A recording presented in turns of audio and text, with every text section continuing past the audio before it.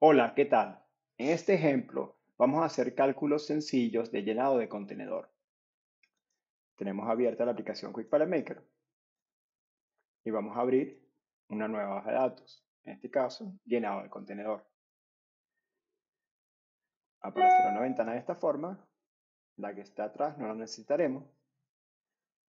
Y aquí podemos introducir las dimensiones de una caja. Estamos trabajando en centímetros.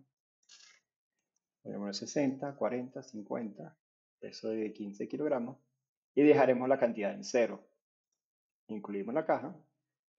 Y de allí podemos calcular un contenedor de 20 pies, ya sea haciendo clic en esta pestaña o usando el comando de herramientas a calcular.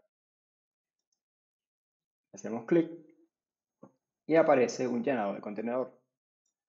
Este llenado pudimos introducir 208 cajas. Podemos regresar también y esta caja, si nos permite el producto, podemos voltearla, ponerla sobre el lado. Hacemos clic en estas dos opciones y volvemos a calcular. En este caso, pudimos introducir un mayor número de cajas, 222. También podemos trabajar con diferentes tamaños de contenedor. Por ejemplo, uno de 40 pies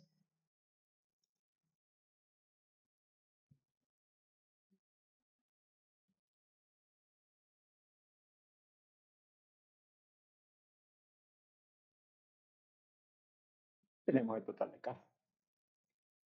También podemos hacer clic en envío y nos da información individual de la ubicación de cada uno. Finalmente, podemos trabajar con una cantidad finita de cajas. Por ejemplo, anteriormente habíamos calculado que solamente eh, íbamos a, a preguntar cuántas cajas caben en cada contenedor. Ahora supongamos que tenemos un pedido en particular introducimos la cantidad, volvemos a calcular,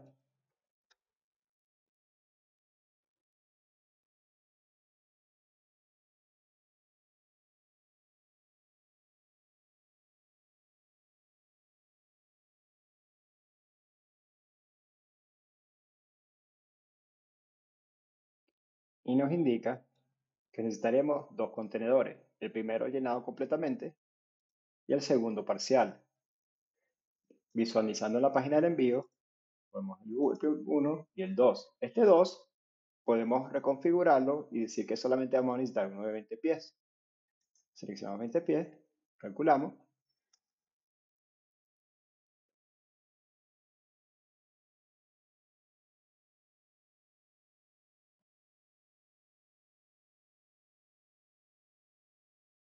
Te en la eficiencia de volumen,